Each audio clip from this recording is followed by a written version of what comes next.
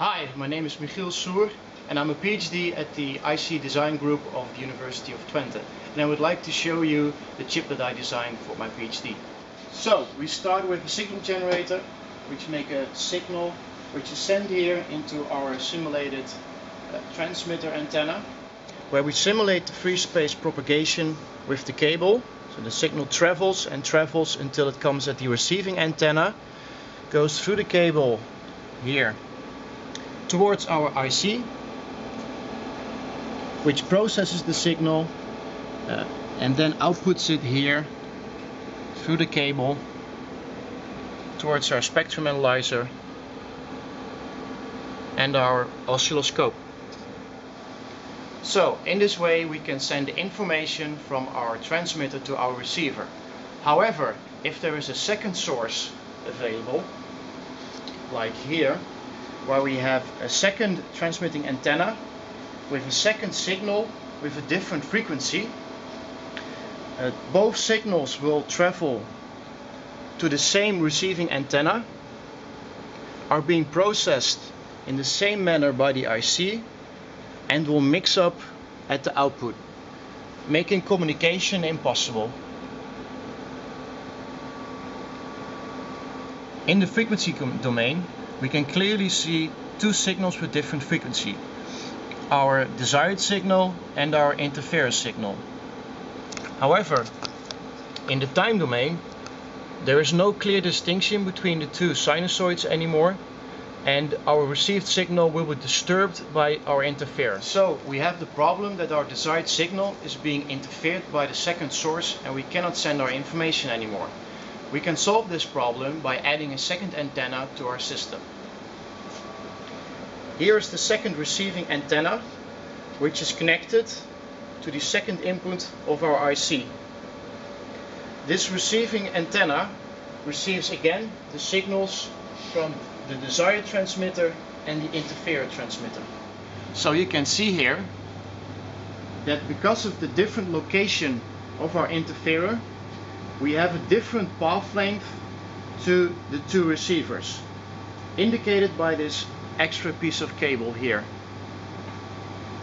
Because of that, the signal from the interferer will arrive at a later moment at this antenna than it will at our second antenna.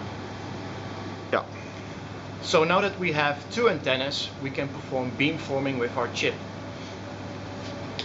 Right now, the IC sums the output of the two receiving antennas, which still does not solve our problem of the interferer jamming our desired signal. However, the IC is also capable of inserting a delay in one of the channels before summing up so that one signal is rejected and that the desired signal can come through again. If we send the digital code through our interface to the chip, we can now see that we have got the original signal back again and that on the spectrum analyzer the interferer has been reduced to levels where communication is again possible. To summarize, if we have a transmitter with an interferer and a single receiving antenna, we have a problem with communication. But by adding our second antenna and the beamforming chip, we are able to suppress the interferer and get the original signal back. So my real work for my PhD is in designing this beamforming chip which on our measurement board is located beneath the tower here in the small black package. This package contains the actual chip which is implemented in an advanced 65 nanometer CMOS process. Chips are mass produced on big wafers like this one and then cut out and put into packages like the one you saw. To test the chips on these wafers, we use these probe stations. These probe stations consist of a plateau with the wafer on top and a microscope to check the positioning of the needles to measure the chip. Here you can see the probe heads with the needles contacting the chip which are too small to see on the scale.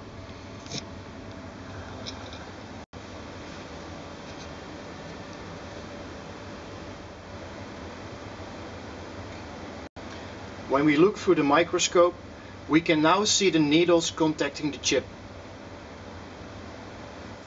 This is my office where we do the design work for our chips we make for ICD. The chip process starts with a schematic design where we place the components and make the interconnections. We can then simulate this design with our simulator to determine if the performance is adequate. After the schematic work is done, we design a layout which forms the actual chip. We have developed a program which we can use to view this layout in 3D and walk through the layout to check for possible errors and the architecture of the chip.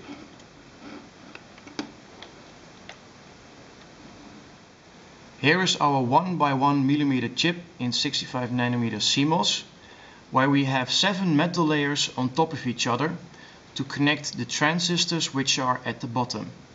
Here we zoom in at one of our clock dividers where down below in red are the 65 nanometer transistors which are connected by the metal stack from the bottom to the top.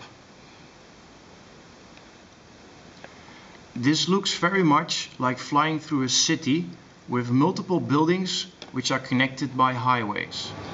To conclude, here at the IC Design Group at the University of Twente, we start with the system design, then work our way down to a single individual transistor to make real designs, to measure them and to publish them at the big conferences.